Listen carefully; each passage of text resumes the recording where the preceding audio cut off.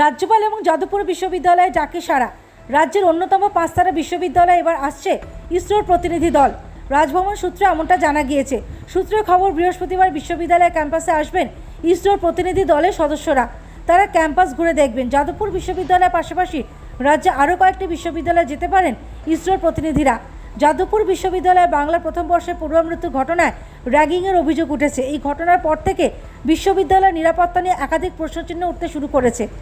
চন্দ্রযান তিনের সফল ল্যান্ডিংয়ের পর ইসরোর চেয়ারম্যান এস সোমনাথের সঙ্গে কথা বলেন রাজ্যপাল ও বিশ্ববিদ্যালয়ের আচার্য সিভি আনন্দ বোস।